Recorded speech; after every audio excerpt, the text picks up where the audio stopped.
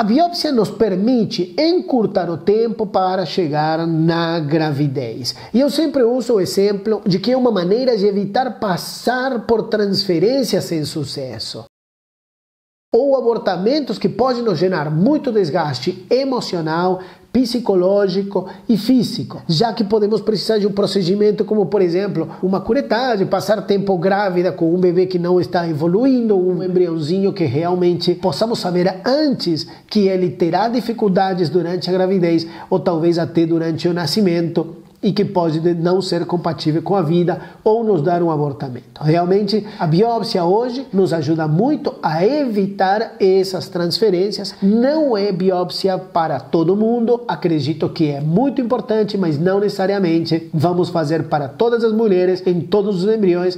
E cuidado, não são todos os embriões que vão ter alterações, nem todos os que são normais que vão conseguir gravidez.